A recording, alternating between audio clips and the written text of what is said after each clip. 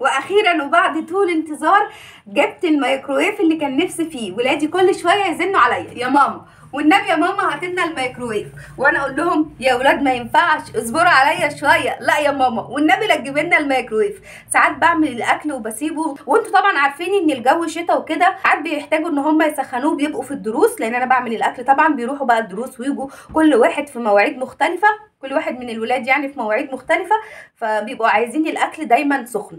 فراحوا عليا وقالوا لي بقول لك إيه يا ماما هات لنا ميكروويف ومالكيش دعوة بقى. انت بقى عايزة تروحي مشوار انت نايمة إحنا نيجي عايزين نسخن الأكل ده هيحل لنا المشاكل. وبما إن إن إحنا ستات شاطرين فأنا ما بحبش أجيب حاجة غير لما أجربها. فرحت بقى عاملة review كده سريع عن النت وعرفت إن ده إيه واحدة صاحبتي كانت جايباه سألتها برده وبعد ال review قالت لي ده أنا جايباه بقالي ست سنين وحلو جدا محتاجش ما شاء الله يعني ولا صيانة ولا أي حاجة وشغال معاها. قلت لها نوعه إيه؟ قالت لي نوعه سمارت فأنا جبته النهارده اللي هو 30 في منه ال 25 وفي منه ال 30 طبعا مش هقول لكم أي حاجة دلوقتي غير لما أجربه. هنفتحه مع بعض وهشرحه كده شرح سريع بس بعد كده هعمل لكم ريفيو كامل عليه. في كل حاجة. استنوا بقى. مش هو بس زوروا قعدت أجيب شوية حاجات كمان هوريكم كل المشتريات وبعدين هنفتح ده مع بعض. ده كده أول حاجة. أهو. وجبت القطاعة دي. القطاعة دي عاملة 60 جنيه. جبت الصفاية بتاعت المعالق. تمام؟ وجبت ال وجبت ده اللي بيعمل لقمة القاضي. ليه بقى؟ أنا طبعا كان بتقابلني مشكلة كبيرة لما. كنت باجي أعمل لقمة القاضي عشان التشكيل. فده أنسب حل. تحطي العجينة هنا وتشكلي بقى. في دايرة من هنا أهي بتشكلي بيها على طول. ودي طبعا صفاية المعالق زي ما قلت لكم. أهي. كان عندي كذا مصفى بس ادموا بصراحة ولقيتها ب 20 جنيه. فرحت جايباها. بصوا الفوط دي بقى لا غنى عنها في المطبخ. زي ما أنتم شايفين كده فجبت منها ده دي كده كبيرة دي كانت عاملة 15 جنيه دي كبيرة. كل دي فوطة أنتم متخيلين؟ طبعا شكلها حلو جدا.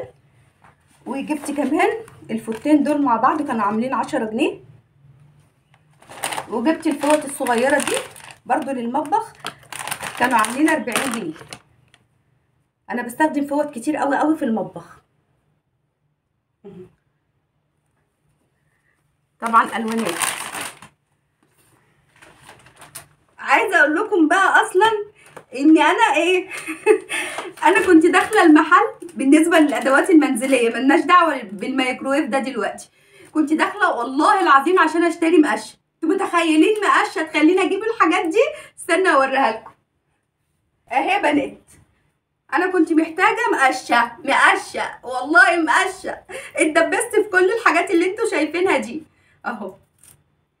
الراجل عنده حاجات حلوة قوي كنت لسه عايزة أجيب حاجات بس بصراحة شنطة العربية اتملت لأن كان معايا صاحبتي وكنا بنجيب برضو أنا وهي حاجات فطبعا قلنا لأ مش هينفع بقى عايزين يوم تاني.